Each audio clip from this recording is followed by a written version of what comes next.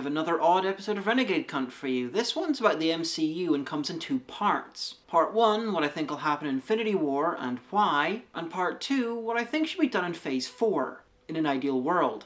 Infinity War is going to be big, ridiculously big, but what's it going to involve? In all likelihood, Thanos and his little trained minions will invade, Vision will die when the stone is ripped from his head, and everyone will fight.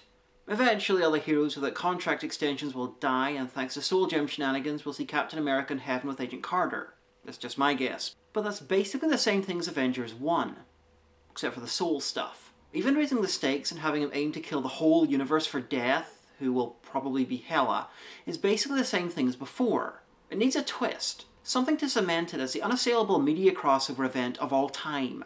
Something so mad that the general audiences won't see it coming something that'll blow their minds. And I think I know what that something is. It's even laid out in Doctor Strange parallel universes. I think Thanos will use a gauntlet to access the multiverse and plans to destroy not just the MCU, but every Marvel universe there is. How do they achieve this? Well, my guess is by buying footage from other studio films and incorporating it into their own. Shots of people seeing some wave of destruction happening.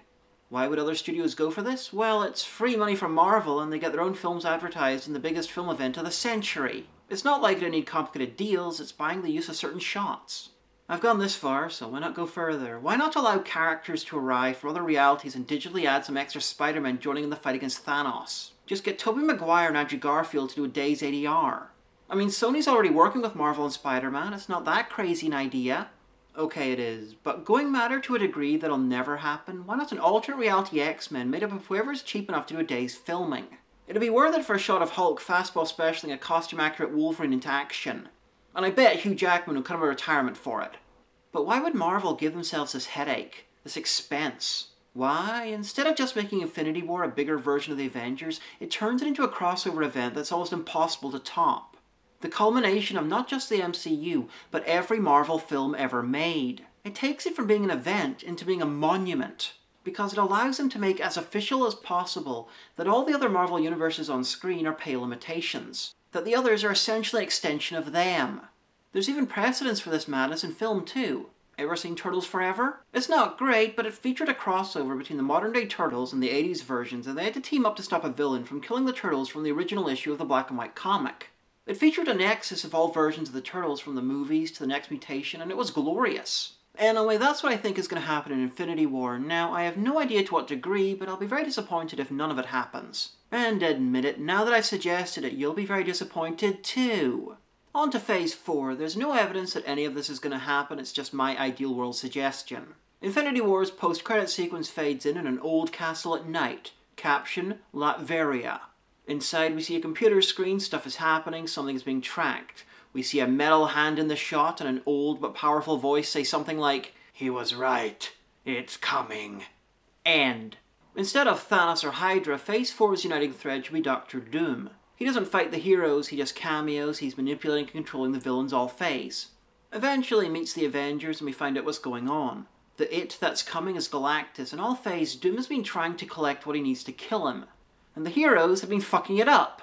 Why didn't you ask us for help? They ask, and he points out that he's Doctor fucking Doom, and he can only do this because fuck you, Stark, you joke. Yeah, Avengers 5 would be them versus Galactus. I come down from the multiverse-ending power of Thanos, but the visuals be big in a new way. Imagine comic-accurate Galactus battling all the Avengers. Anyway, where's Fantastic Four? Uh, simple. In the 60s, the four were celebrity heroes.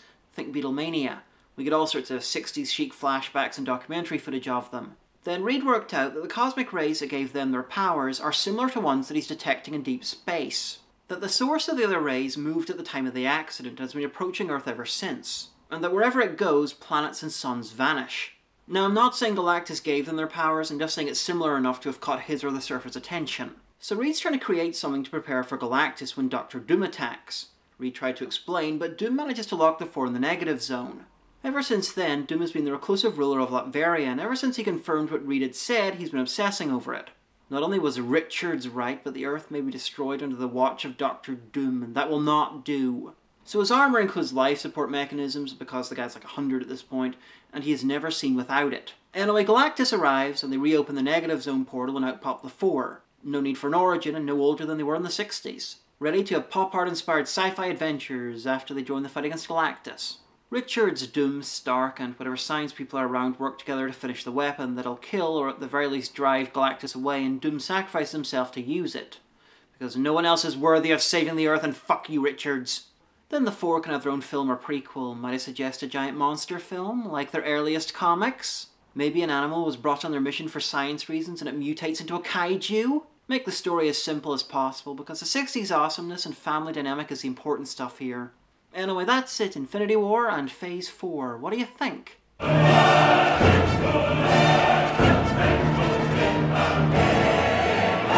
Additional, when I was scripting this, I found out that Movie Bob was also working a video about how to handle the Fantastic Four in the MCU. And as soon as it's up, I'll link it below. Go check it out, it's sure to be fascinating.